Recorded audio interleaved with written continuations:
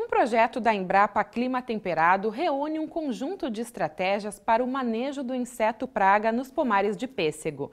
É o Sistema de Alerta para Monitoramento da Mosca das Frutas.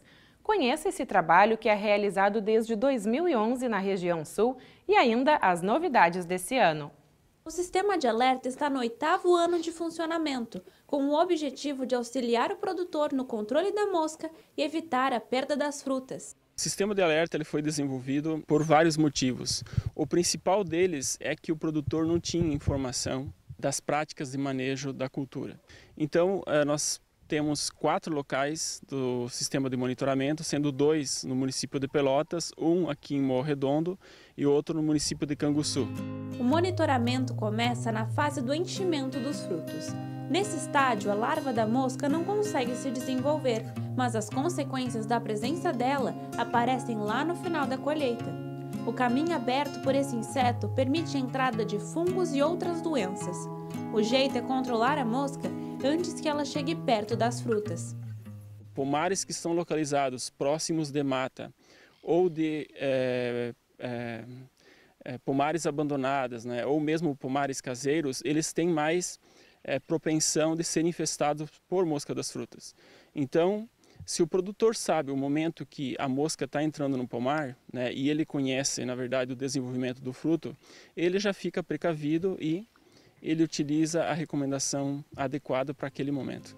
As armadilhas usadas são do tipo Macfill, também conhecidas como armadilhas bola, penduradas nos pessegueiros. As moscas se aproximam por causa de um atrativo alimentar, ficam presas e servem para a coleta dos dados. Boletins informativos são fornecidos para os agricultores semanalmente, com recomendações técnicas para o manejo da cultura e com a análise do período. O foco do controle tem que ser a mosca adulta, não mais as fases imaturas. E nós sabemos que o inseto adulto ele voa, ele se desloca. Então, para você saber o momento exato de você fazer o controle, você tem que saber se a praga está presente no pomar ou não. Né? Então, o que, que, a gente faz? É, nós realizamos o monitoramento. Né? É um monitoramento, na verdade, é, que dá uma informação ampla, não é localizada. E em cima dessa informação a gente vê tendências. Então, tendências de aumento da população da mosca das frutas e o que, que os produtores devem se preocupar naquele momento. Por causa da chegada da primavera, nas últimas semanas se percebeu um aumento na população da mosca das frutas. A recomendação da pesquisa da extensão é que se faça aplicação por cobertura e se continue o trabalho de aplicação da isca tóxica. As informações de quando realizar esses processos chegam ao produtor de diversas formas, o que é justamente a inovação do sistema de alerta desse ano. São feitos boletins informativos disponibilizados por e-mail, WhatsApp e redes sociais e também na página da Embrapa e da Emater. Além disso, são produzidos vídeos e também programas de rádio e matérias em jornais locais. Com a facilidade de acesso, a ideia é suprir as necessidades dos produtores por informação. O sistema é uma forma de agregar as práticas tradicionais de quem produz com as orientações dos pesquisadores e dos técnicos, para evitar que o produtor tenha um prejuízo.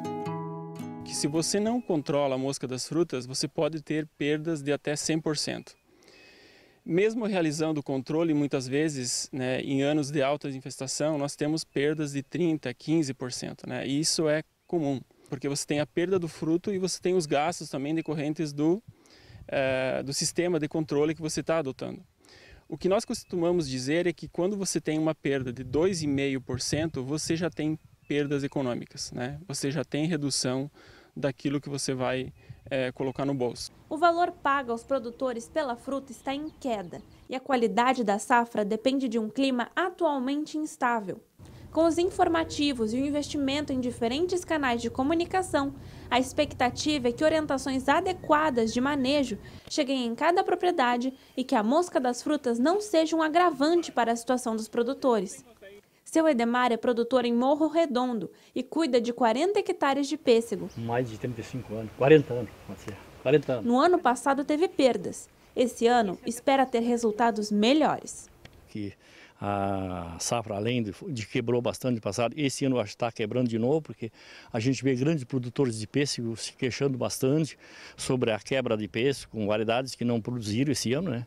Eu espero que a gente possa recuperar talvez um pouco do, do ano passado. Eu, graças a Deus, meu pomar esse ano está muito bom, está tá quase todo ele produzindo muito bem. A gente tem visto aí que eu acho que para mim vai ser uma safra boa.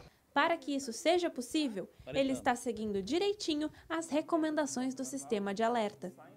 Eu recebo a maior parte das informações através dos informativos da, da Embrapa, o pessoal que faz o controle aqui, e através também do Jornal Tradição, que toda semana eles emitem ali um, um alerta, um, um boletim, né? E ali dizem todas as os pomares que estão tão com problema, então a gente ali através daquilo ali cuidando para ver se está tudo bem, né?